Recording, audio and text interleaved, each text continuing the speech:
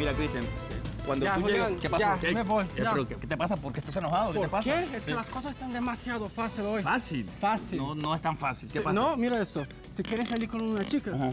hace para la derecha y pum. No, no es tan fácil. ¿No? No. Si quieres comer algo, le das a un botón y ya está en tu casa. No es tan fácil, no, no, es tan si fácil. quieres ver una película, lo que sea, le das a un botón. Que no es tan fácil, claro que no. Por favor. Claro que no. ¿Por qué lo dices? ¿Por qué? Sí. Porque las cosas hoy están muy fáciles. Yo estoy de acuerdo con lo que dice Chiquis. ¿Sí? ¿Qué dice Chiquis? No sé. ¿Qué dice Chiquis? Es que no sé. ¿Ves que no es tan fácil? Vamos mejor a la calentita. No es fácil. Chiquis, no sigue modas. En su último podcast, la hija de la diva de la banda tocó el tema del fasting y de cómo ese método le ayudó a perder peso. Sin embargo, requirió mucho esfuerzo de su parte a la hora, por ejemplo, de no tomar alcohol en los eventos. Y es que a pesar de todo, Chiquis le gusta retarse a sí misma y sabe que lo bueno no llega rápido. I feel like we live in an era that people don't want to be challenged. People want everything fast and they want it now. It's just everyone wants everything so quickly. And I like to challenge myself. Gracie y Mike, sin celos. Sin duda forman una de las parejas más queridas y sólidas del mundo del espectáculo. En abril del año pasado fueron papás y si han llegado tan lejos es porque según ellos en su relación no existe la toxicidad. Sí, yo, yo digo, amor, ¿viste esa femenina? ¿Le viste ese cuerpo? Amor, ¿le viste? O sea, yo soy- Tienen esa confianza. Total. Amanda Miguel, dura pérdida. Frente al periodista Gustavo Adolfo Infante, la cantante habló del que fue uno de los peores momentos de su vida, y es que durante su largo matrimonio con Diego Verdaguer y del que fue fruto su hija Ana Victoria, la intérprete confesó que tuvo un segundo embarazo con más de 40 años, pero lamentablemente perdió al bebé. Después quedé embarazada, ya de grande. Tendría un hijo ahorita adolescente. Este, y lo perdí. Poncho de Nigris, semental. Negar que el Poncho siempre fue un galán muy cotizado sería mentir. Y a pesar de que actualmente el influencer es padre de cuatro hijos, ese número podría haberse incrementado bien pronto, ya que él está dispuesto a vender sus embriones hembra congelados. ¿Alguien quiere gemelitas marca de Nigris? Pues vayan preparando los 2 millones de dólares, unos 40 millones de pesos mexicanos que Poncho pide para cada uno de ellos. Anuel y Yailin ya son padres. Llenos de emoción, Yailin y Anuel recibieron a su hija Catleya y la cantante dominicana quiso compartir el tierno momento con este post, sujetando a la pequeña por primera vez en sus brazos. A pesar de que el reggaetonero confirmó su separación de Yailin hace unas semanas, no quiso perderse un momento tan especial y de ahí nos nace la pregunta de hoy. ¿Es un ejemplo para los padres que se encuentran en su misma situación? Responsabilidad de padre a pesar de... Así es, responsabilidad, ejemplo y derecho, Julián. Te voy a decir algo, yo tengo la misma foto que Yailin y Anuel porque lo viví con eh, mi ex esposo y Gail en ese momento. Ay, y está mira. la foto hermosa que quería compartir con ustedes. Tengo la misma foto, Israel me está besando la frente, tengo en mis brazos a mi bendición, que es mi hija.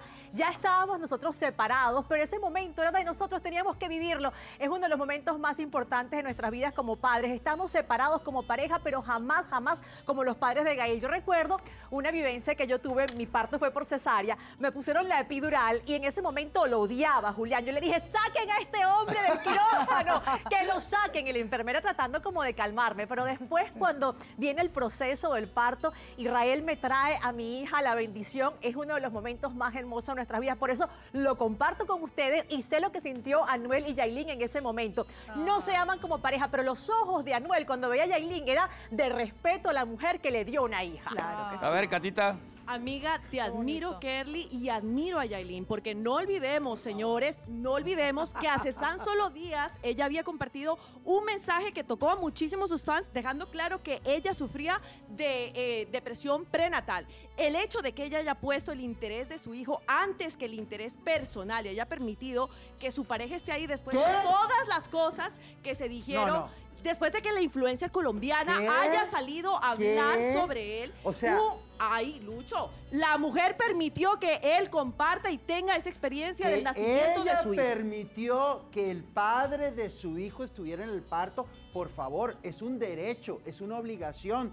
Eh, o sea, yo no entiendo a veces a las mujeres. A veces se quejan que los hombres se desaparecen de la vida de los hijos. Y cuando él está ahí, entonces tú estás diciendo que Yailin le permitió a Anuel que estuviera ahí. Primero que todo, no hay que aplaudirle a Anuel que esté ahí porque, porque primero que todo es su deber de estar ahí en el momento del nacimiento de su hijo o de su, de su, de su niñita. Pero en este momento, que una mujer como tú, que ha sido, ha utilizado eh, eh, el foro de Siéntese que pueda para decir que los padres que se desentienden de los hijos deberían estar- estarle tirando piedras. En este momento tú estás diciendo que hay que darle las gracias a Yailin para que, porque que le, dio, su le permitió a su, a su expareja Lucho, que estuviera ahí. Lucho, lo que pasa es que no se trata ni de aplaudir ni de tirarle piedras a nadie. La realidad es diferente. La realidad es que muchos padres se hacen los desentendidos, no aparecen ni siquiera estando con la pareja el día del parto de ella, por la razón que sea, y él, a pesar de estar separado, está ahí. O sea, es un No se le acto aplaude. que no, Se le no- aplaude. Lucho, no aplaudirle irónicamente, No. porque esto no es una guerra, Luchito. Lo que pasa es que Ah, sí qué es bueno un que lo estás diciendo. que es un ejemplo, porque por supuesto que hay varios padres que se hacen los desentendidos y él está tratando de marcar una diferencia, tal vez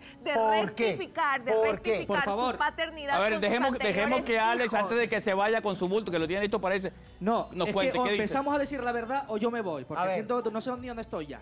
O sea, vamos a ver, esa foto parece pactada. Yo soy ese Ay, bebé y estoy naciendo, me ¿La veo el rapero ahí a mi padre y a mi madre y me vuelvo a meter para adentro. O sea, esa foto parece pactada. Ella, ¿por qué está ahí sonriendo al lado de Anuel? ¿Por Porque qué? él es el que está aportando y el que va a aportar durante todo el futuro Claro del niño. sí. ¿Y por qué él está ahí? Recuerden que él al final, la imagen de él que tiene varios juicios por ahí de paternidad, que si no ¡Exacto! atiende a su hijo como debería, él está quedando bien ahí perfecto para la prensa. ¡Ale! pose. ¡Ale! Claro, es una ¡Ale! vergüenza Es de foto. es Es, una verdad. vergüenza de foto. Sáquenlo de él, Me de voy. castigados. Yo te saco. Me Yo- voy. yo te saco. A ver, a ver, a ver, Yo este, eh, que- Kelly, por favor, si eres tan amable, va. Tranquila, A tu vaya tranquilita. Que ya usted habló. Vamos a ver qué dicen las redes de María Paula. Bueno, Juli, hoy estamos de celebración porque en las redes sociales el amor es tendencia y es que la reina Rania de Jordania ha compartido más imágenes de la espectacular boda de su hija Iman junto al financiero venezolano Jamel Alexander Termiotis. Además, esta ceremonia tuvo más de 150 invitados, se celebró en la residencia personal de los reyes y se celebró por cinco días como es tradición en las bodas musulmanas. Además, tenemos que hablar de otra parejita espectacular que se ha vuelto aún más viral en las redes después de su luna de miel. Y es Lele Pons y Guaina que han compartido en sus redes más imágenes de su luna de miel en donde los vemos disfrutando de de Dubai en unos espectaculares paisajes. Y para terminar, quiero que vean esta imagen tan espectacular, pues Lindsay Lohan ha anunciado que está esperando su primer bebé junto al banquero Padre de Samas. Y bueno, eso es una noticia que la tiene, la tiene muy feliz y muy contenta. Bueno, vamos a una pausa y seguimos en Siéntese quien pueda. Hoy martes de inmunidad. Coronel y el Chapo Guzmán juntos pero en cárceles diferentes. Hoy hablamos con la abogada de uno de los narcotraficantes más temidos de todos los tiempos y prepárense porque nos trae fuerte bombazo entre los brazos. Hoy en Siéntese quien pueda.